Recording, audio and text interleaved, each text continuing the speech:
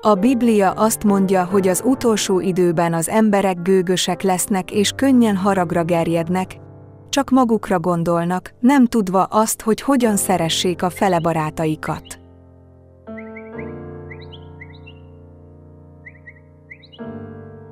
Isten mindig arra tanít minket, hogy ne igazodjunk e gonosz világhoz, hanem törekedjünk a fenti dolgokra. A gyermekeknek hasonlítaniuk kell a szüleikre. Ti mind megkapjátok Isten szeretetét, aki megmentett titeket az ő szent áldozata által. Ezért az ő gyermekeiként, Isten indulatával kell rendelkeznetek és dicsőítenetek kell Istent a jó cselekedeteitekkel. Isten megváltoztatja a csiszolatlan, bűnnel teli természeteteket jó természetre. Isten elválasztja a rosszat a jótól, ahogy a példázat tartja, a jó halat kosárba gyűjtötték, a rosszat pedig eldobták.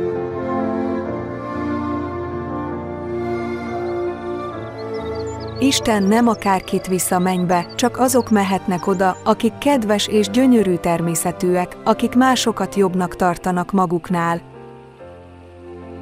és akik engedelmeskednek Isten szavának.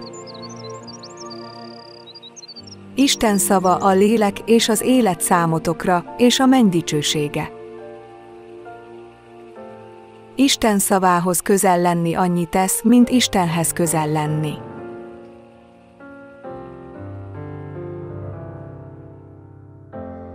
Amikor halljátok Isten jó szavait és gyakoroljátok azokat, áldottak lesztek és örökké Istennel lesztek a gyönyörű mennyországban.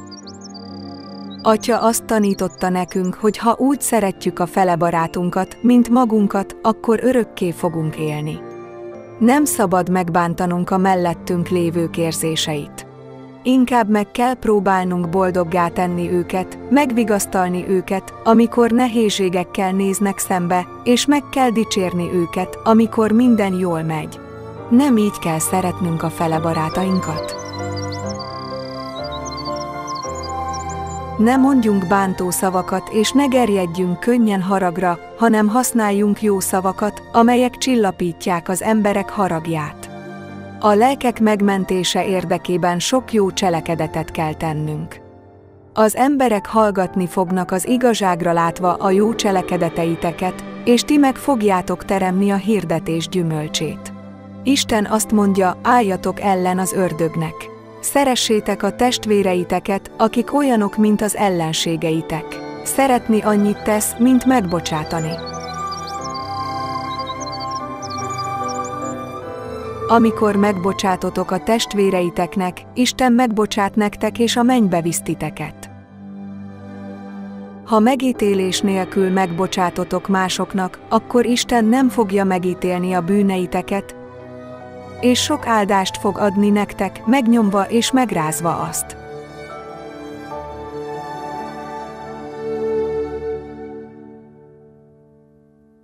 Amikor a gyermekek valami olyan jót tesznek, ami örömet okoz a szüleiknek, a szülők nem adják meg nekik azt, amit a legjobban szeretnének.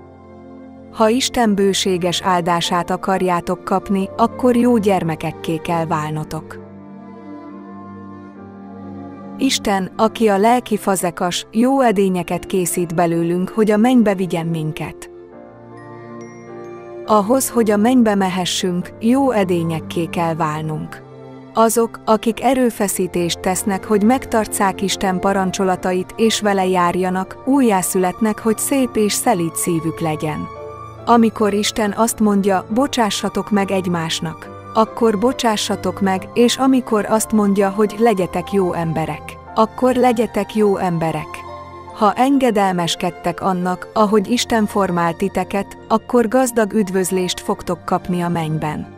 Isten akkor örül a legjobban, ha a bűnösöket megtérésre és a mennybe vezetitek. Vezessük a haldokló lelkeket megtérésre, változtassuk meg őket igazakká, és vigyük el őket a mennybe ajándékként atyának. Isten sok gyümölcsöt enged azoknak, akik hisznek benne és megtartják a szavát. Amikor jókká és szépekké váltok és egyesültök, Isten áldást és örök életet ad nektek. Egyesüljünk a szeretet által. Most az emberek idegesek és félnek. Tegyük a szeretet jó cselekedeteit azáltal, hogy Sionba vezetjük őket, hogy megmeneküljenek a csapásoktól és örök életük legyen. Azzal a hittel, hogy Isten szava az élet, kérlek gyakoroljátok azokat. Remélem, hogy jó gyermekekké váltok, akik Isten kosarába kerülhetnek, hogy megörvendeztessétek Istent, és a nevetek csillagként ragyoghasson a mennyben örökkön örökké.